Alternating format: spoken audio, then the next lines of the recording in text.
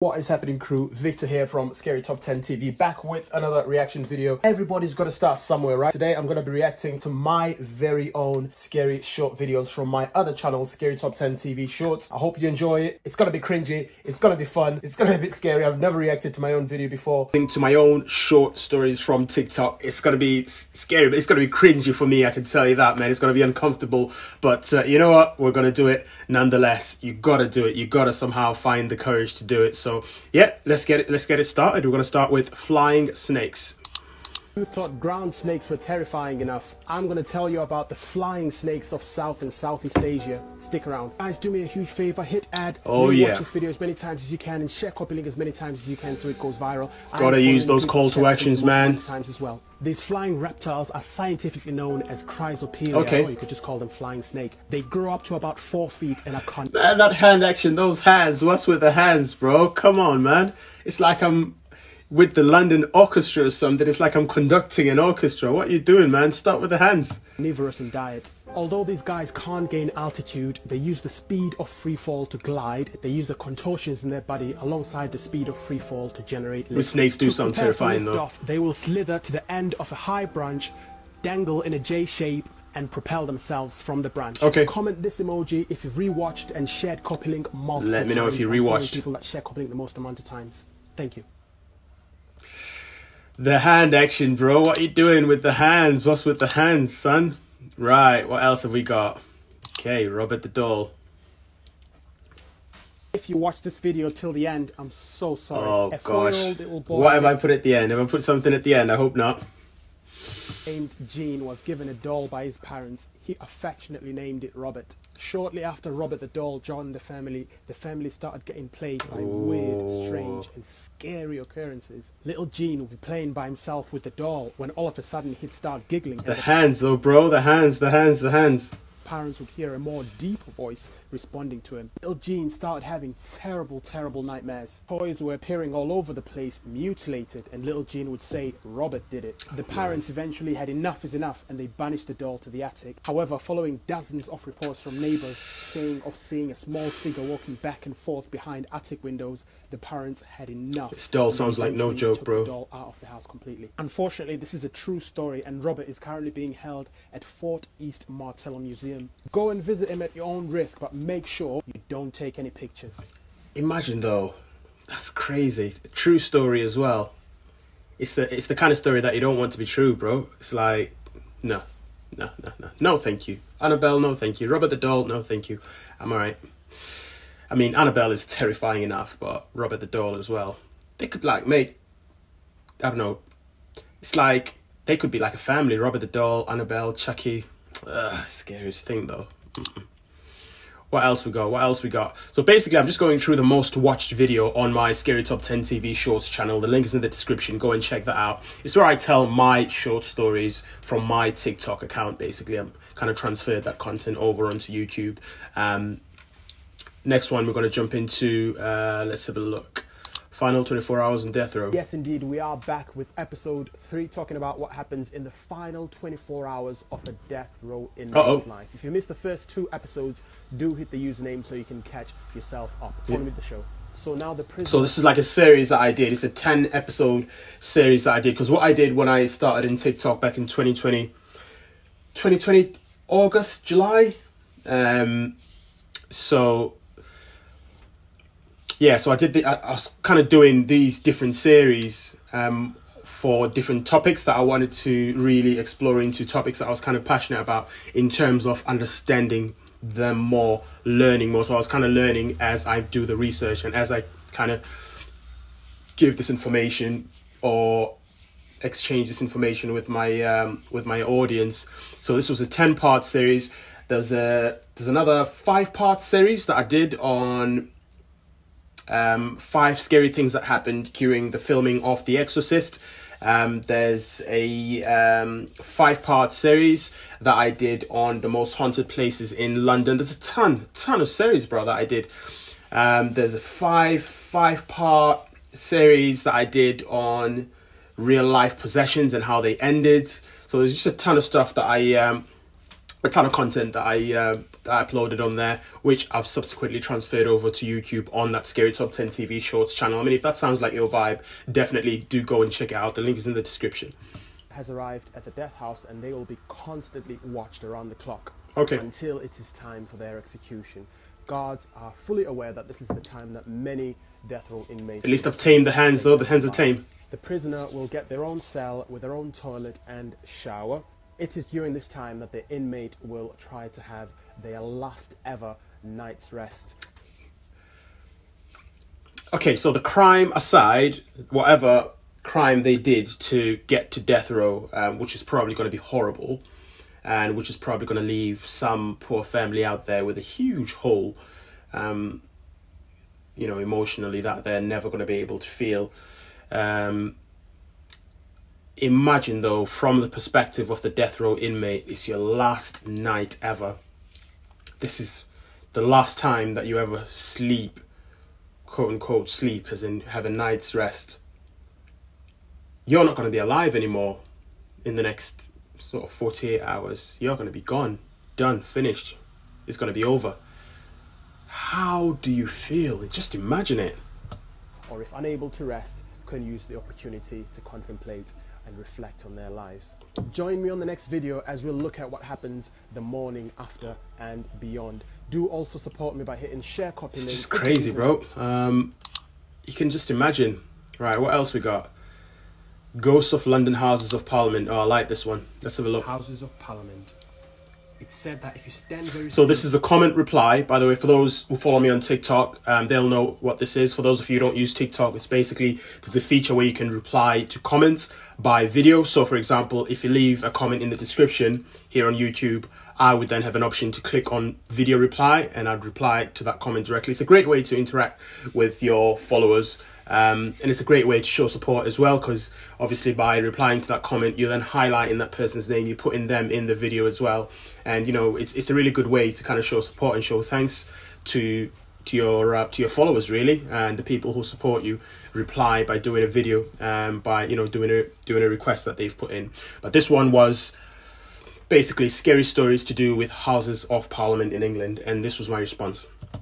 On New Year's Eve, watch the Westminster Bridge clock strike midnight, you may be lucky enough to spot the spirit of Jack the Ripper. It's said that during this time of transition from old to new, England's most famous serial killer can be seen running across the bridge Uh-oh. and hurling himself into the icy waters below. Some historians have come to the conclusion that during the year 1891, Jack the Ripper took his own life, and some have surmised that Westminster Bridge was his chosen spot. I'll be video replying to one person who comments the two emojis I've hidden somewhere in this video correctly in the next 24 hours.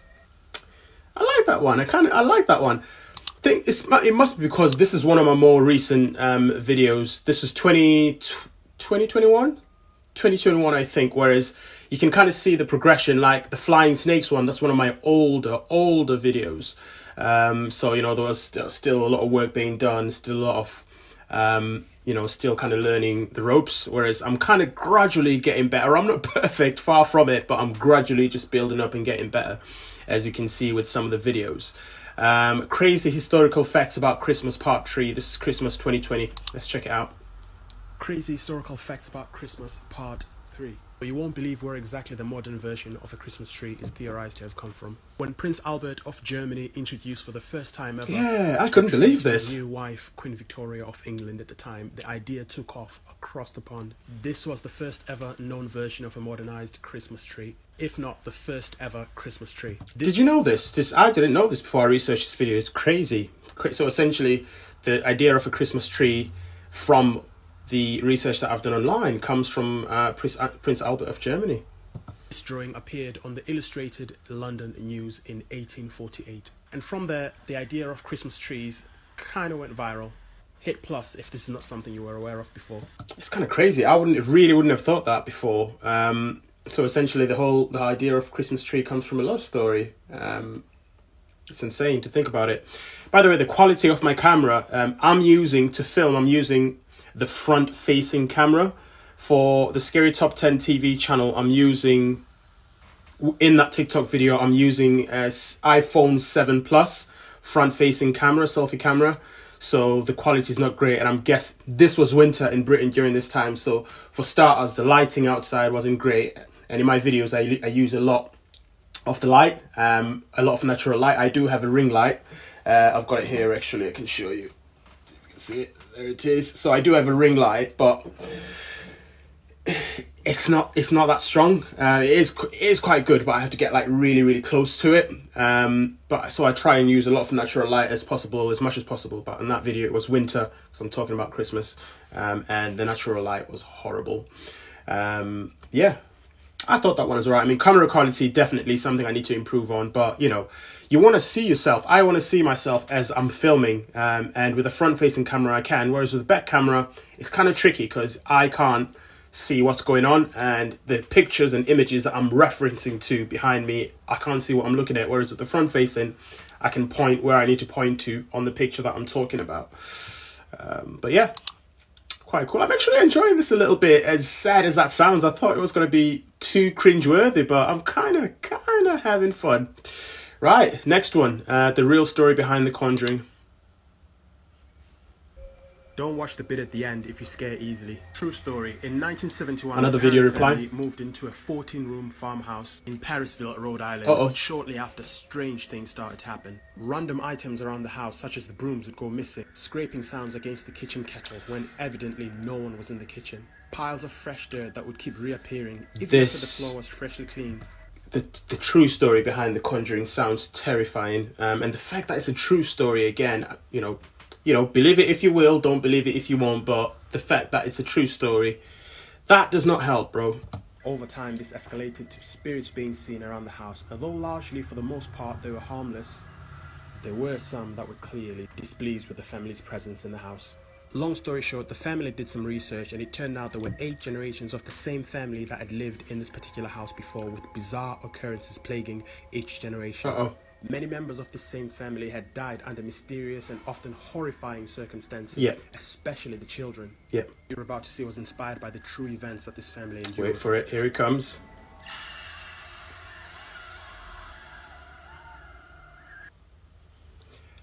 I think, I mean, I've seen The Conjuring before, but you know, it's one of those films that I have to get myself in the right state of mind to be able to watch because it's it gets real in that film, man both one and two, and I think they're working on part three at the moment. Are they? Let me know in the comments. But I think they are, um, and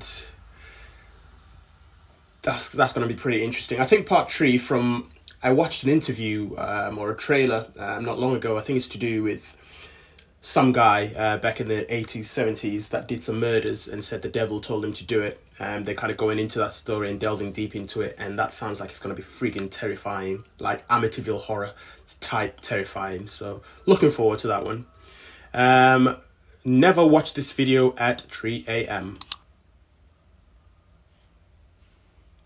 this is why you shouldn't watch this video at 3 a.m in the morning during this one New Year's Eve, a chilling event took place at Cleveland's Agora Theatre. Uh -oh. Although it's had to reinvent itself many times over the decades, is that Ohio? It was first built in 1913. Mm -hmm. And although many staff and performers have met their end at this theatre mm -hmm. over the last century, there's one particular entity that stands out. R.I.P. my from that picture. There's been a multitude of sightings of the so-called man in a yellow raincoat. Not who you During to see. a ghost hunt on this one New Year's Eve, mm -hmm. said ghost hunters were said to be disturbed by many entities and apparitions. Weird, strange smells coming out of nowhere. That image in the background is from a Japanese horror film, like a found footage style horror film known as Gonjiam. Now, American films are scary, right? But everyone out there knows the granddaddy when it comes to countries that do horror films is Japan.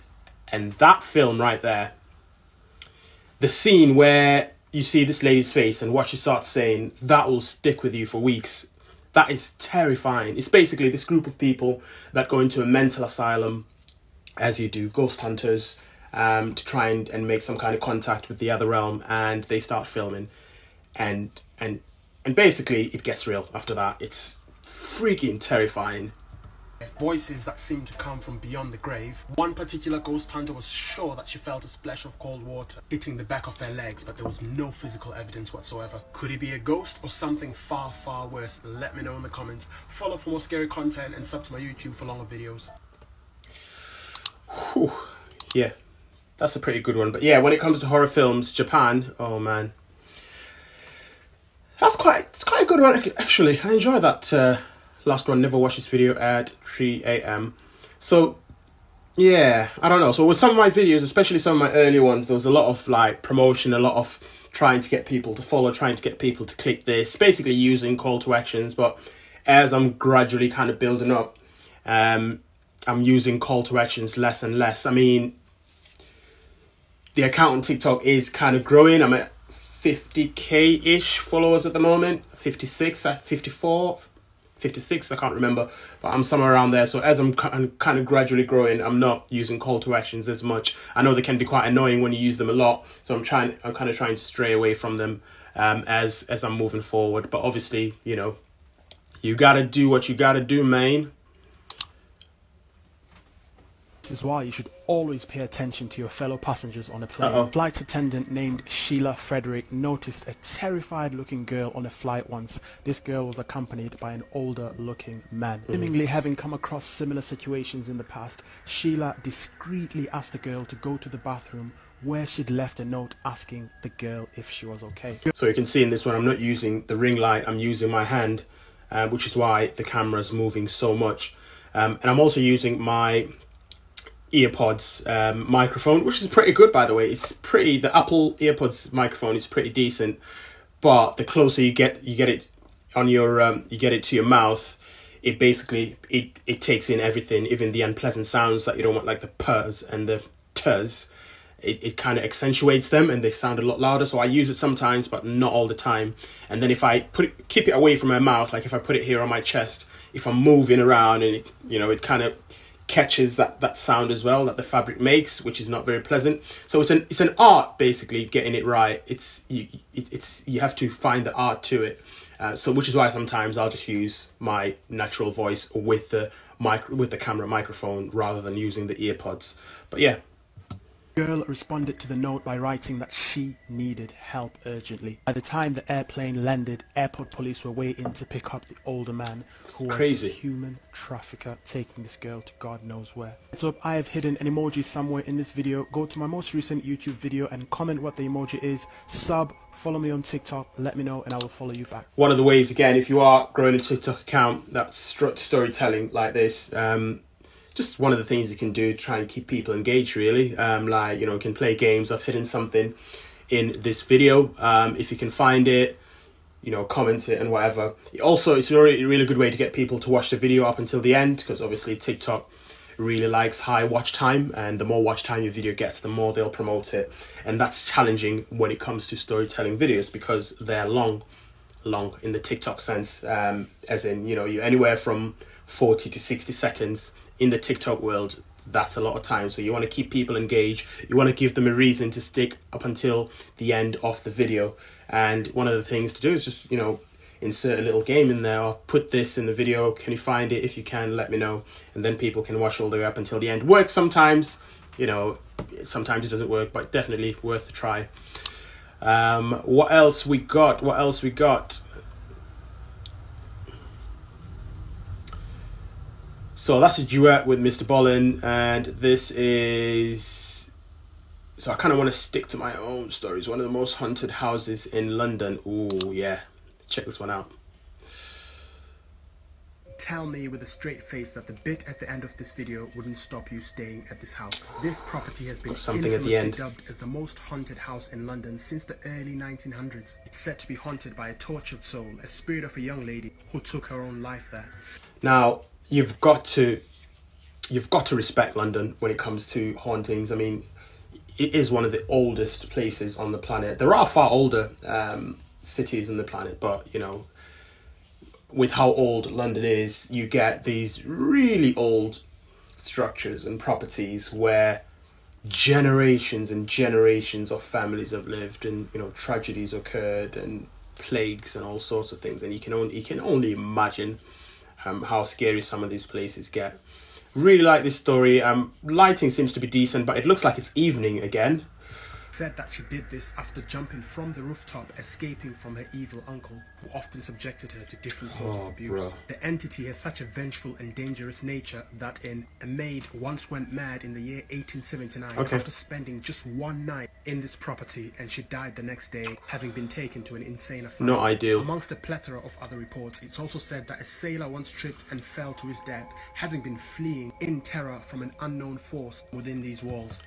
The pictures in the background by the way i i, I hear a lot of people commenting online uh, that you know this is not real this is not that picture this is not that video oh this is a clip from a movie yes it is it's not this is just to kind of give you an idea to, to kind of add to the tone and the feeling of the story it's not that actual picture of what happened. Yes, the video clip is not the actual clip of what happened. It's just to kind of add to that.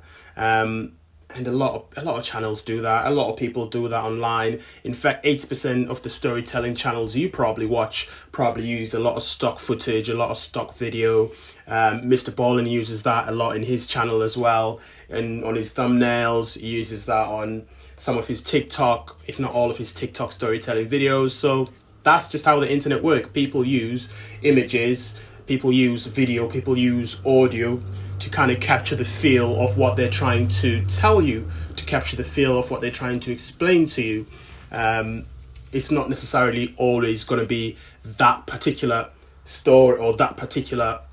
It's not always going to be linked to that particular specific story. If it is, you'll get you know some kind of notification to say real photo or actual photo, or something along those lines. If it's not, it's just to help support the story. It's just to kind of build a framework of understanding, and yeah, that's the reason why that's there. It's not always going to be that specifically that photo or specifically that video. Many have speculated that those who dared spend the night at this property have met their doom having experienced something like this. The Conjuring, like this, for example, this is from The Conjuring. That's not from that particular story. It's just a clip from the film The Conjuring, uh, which is just again to add to the tone and the feel of the story. But yeah, that's Conjuring too, man. That's do not watch that film alone. What else we got? This video got me to keep my lights on at night. Let's go. When I first saw it, the video I'm going to play at the end got me to keep my lights on for a little bit longer at night. So don't forget to follow for more content like this, sub to my YouTube for longer videos, and let me know in the comments what topics or areas I could cover next. Let's go.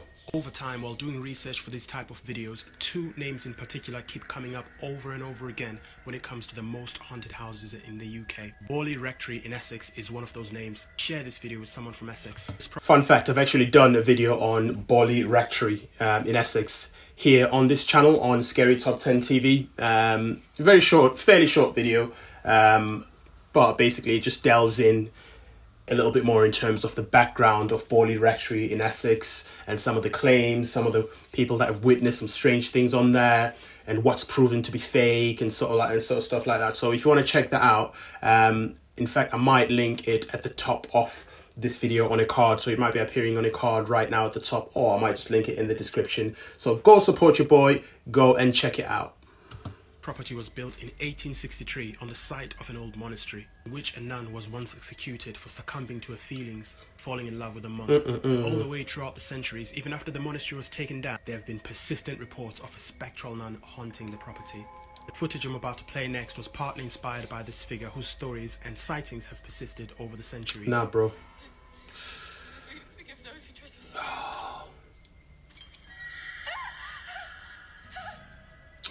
Who trespass. Mm-mm-mm.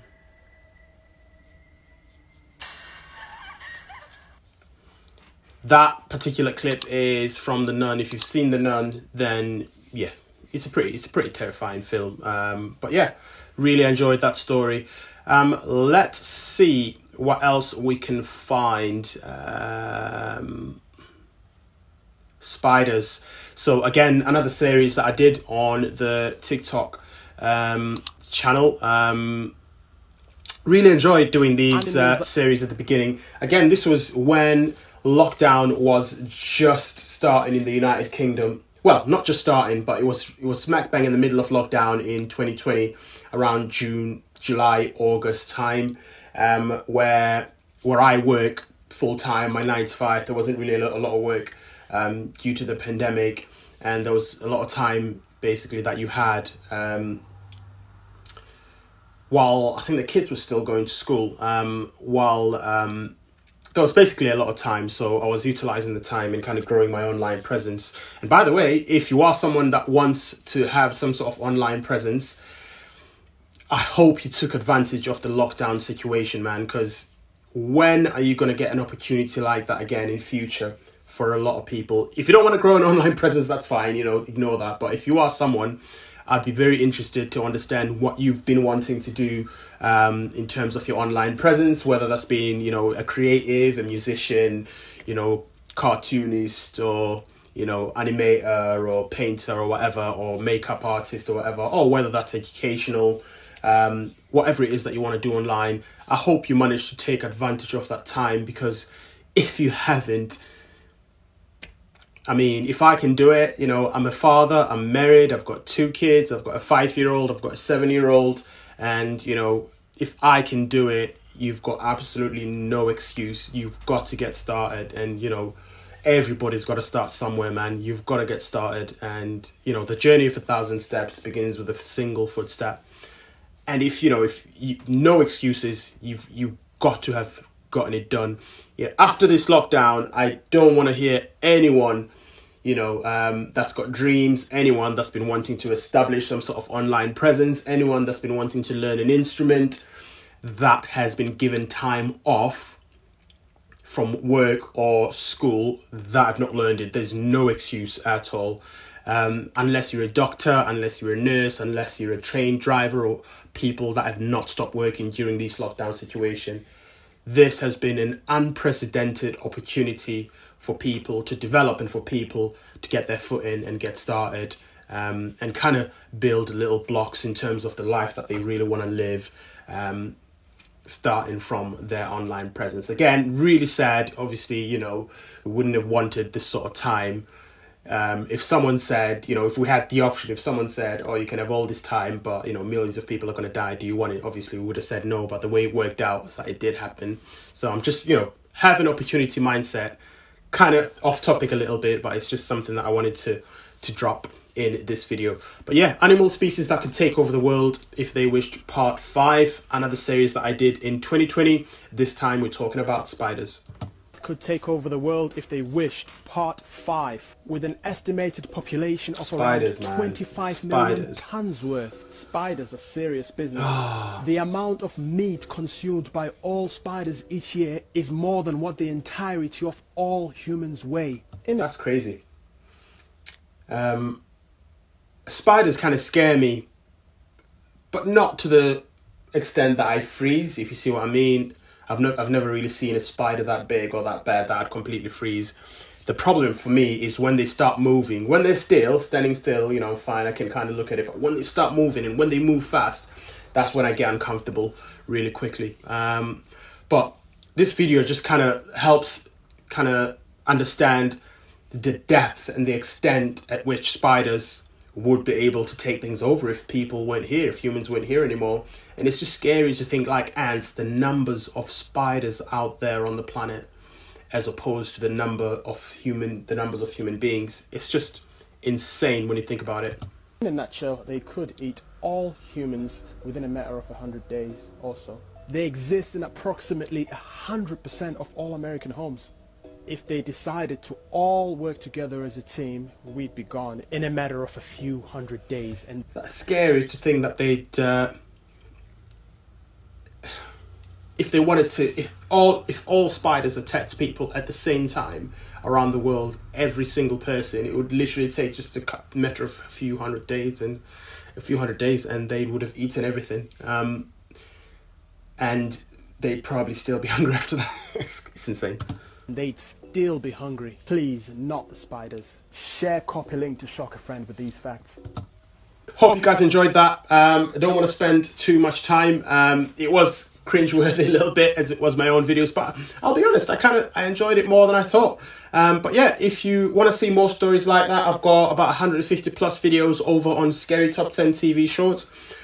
All of them come from my TikTok channel, which will be linked in the description. So do go and support your boy over there. Do go and check those out. All stories are obviously short, so they're not longer than 60 seconds. The longest one that you'll get will be 60 seconds long. So do go and check that out. If you've watched up until now and if you support the channel, thank you very much. Do make sure that you subscribe. Do make sure that you hit all turn on all notifications so you don't miss out on any future videos. Really appreciate your support. Thank you very much, and I will see you guys in a future video.